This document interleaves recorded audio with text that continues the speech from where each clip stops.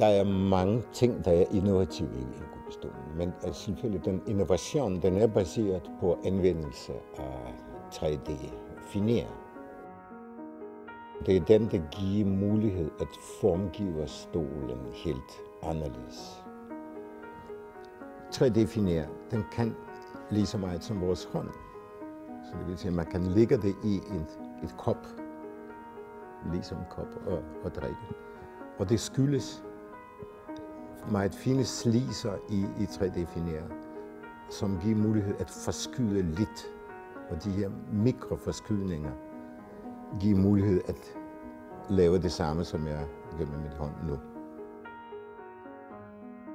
Stolen passer så perfekt ind, øh, fordi den, den havde den, det var den her mulighed for at komme på, på verdenskortet som en designproducent. Det var muligheden for at være innovativ. Det var muligheden for at skabe noget nyt, som, som jeg synes, det var, det var vores berettigelse for at princippet går i gang med at arbejde med stolen.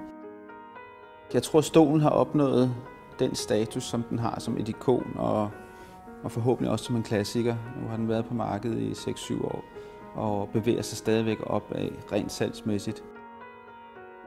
Jeg tror, den er tidsløs i sit formsprog. Øh, den har en, en, en meget fin anvendelse. Øh, den er meget ergonomisk korrekt. De fleste mennesker sidder godt i stolen. Øhm, og så det har den bare et, et formsprog, som er altså med sin tynde skal og sin, sin lethed gør, at den, den har en meget stor appeal og klassikerstatus. Det skal være en virkelig god grund til at lave en ny stol.